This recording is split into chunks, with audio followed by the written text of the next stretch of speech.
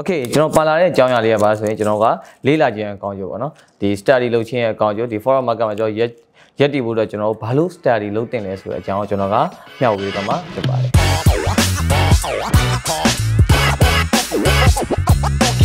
မင်္ဂလာပါခင်ဗျာ MH Market ရဲ့ Runner Topic Series ကနေပြီးတော့ကျွန်တော်ပြန်လည်ကြိုဆိုလိုက်ပါတယ်ဆိုတော့အရှိမရှိရဲ့မဲလေးတွေကကျွန်တော် mailing ကိုနှိုက်လိုက်မယ်ဆိုတော့ပါလာကြောင်းလေးကိုကျွန်တော်က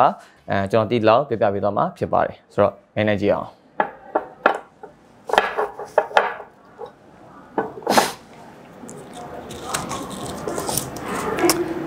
Okay ကျွန်တော်ပါလာတဲ့အကြောင်းအရာလေးကပါဆိုရင်ကျွန်တော်ကလေ့လာခြင်းအကောင်းကျိုးပေါ့နော်ဒီ study လုပ်ခြင်းအကောင်းကျိုးဒီ forum market မှာကျွန်တော်ရက်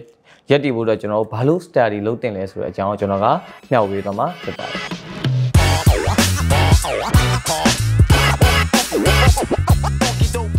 ကျွန်တော်ဒီ study လုပ်တယ်ဆိုတာကအာကျွန်တော်ဒီကိုယ့်အကို self study ပဲဖြစ်ဖြစ်ဒီအပြင်မှာသင်တန်းတက်တာပဲဖြစ်ကြိုက်လို့လုပ်လို့ရတယ် ဆိုတော့ကျွန်တော်ဒီ foreign market မှာ basic သဘောတရားကိုကျွန်တော်တေချာလေးနားလည်ဖို့ကောင်းကောင်းမွန်မွန် trade တက်ဖို့ဆိုကျွန်တော်တို့ကတကယ်တက်ကြွတဲ့ပညာရှင်တွေစီကျွန်တော်ဒီ CRAC မှာကျွန်တော်အနေနဲ့သင်တန်းတော့တက်ဖို့လိုသလိုအာဒီကိုကို self study လုပ်မယ်ဆိုလို့ရှိရင်လည်းကျွန်တော်ဒီ YouTube မှာလည်းအများကြီး free video တွေရှိတယ်ပြီးတော့ဒီတချို့ဒီ free class လေးရယ်ကျွန်တော်ဒီ online မှာအများကြီးရှိရပါတော့ဆိုတော့အဲ့မှာသွားပြီးတော့ join ပြီးတော့မှ data လေးကိုကိုပြင်ဆင်ပြီးတော့မှကျွန်တော်ဒီ trading နယ်ပယ်တွေကိုကျွန်တော်ဝင်သင့်တယ်လို့ကျွန်တော်ကမြင်ပါတယ်ခင်ဗျာဟုတ်ကဲ့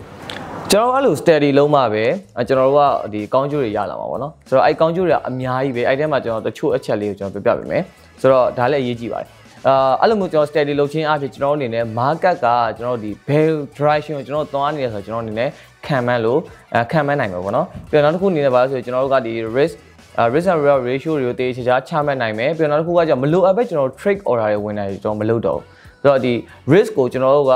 ကိုယူနိုင်တဲ့ပမာဏလောက်ပဲကျွန်တော်ယူတော့မယ်ကိုတောင်းယူနိုင်တဲ့ပမာဏအထိကျွန်တော် risk တွေမယူတော့ဘောနော်ဆိုတော့အဲပြီးတော့နောက်တစ်ခုကကြတော့ကျွန်တော်ဒီ profit ဖြစ်တဲ့ကျွန်တော်တို့ဒီ order တွေအထွေးပေးနဲ့များလာနိုင်တယ်ပေါ့နောက်တစ်ခုကဒီကိုကိုကို confidence တခုရှိသွားတာဖြစ်တဲ့အတွက်လည်းအဲကျွန်တော်တို့က emotional ကိုအနည်းနဲ့အများတော့ကျွန်တော်အနေနဲ့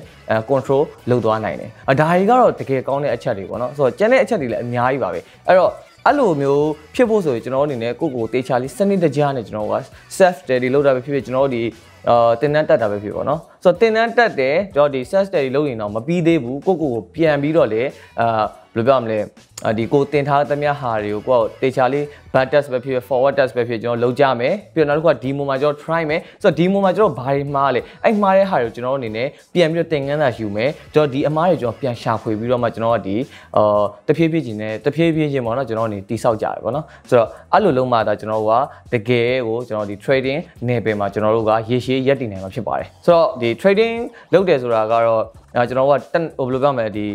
quick profit တော့မလုပ်နဲ့ပေါ့နော်အဓိကဒီ profit မြန်ရဖို့အတွက်ပဲကျွန်တော်ဥတီဖို့တက်စာအောင်ရှိကျွန်တော်တို့ကဒီရေရှည်ဘယ်လိုမျိုးသွားမလဲဆိုတာကိုကျွန်တော်အနေနဲ့အဲစဉ်းစားတင်တယ်ပေါ့အဲ့လိုမျိုးကျွန်တော်ရေရှည်သွားနိုင်ဖို့ဆိုတာလဲကိုကိုအများကြီး steady လုပ်ဖို့လိုတယ်ဆိုတော့အဲ့လိုမျိုးကိုကိုကို steady လုပ်ကြပါလို့ကျွန်တော်ကဒီကနေပြီးတော့ပဲအကြံပေးခြင်းပါတယ်ဆိုတော့ steady လုပ်မယ်ဆိုလို့ရှိရင်လည်းအများကြီးလေ့လာပါဒါ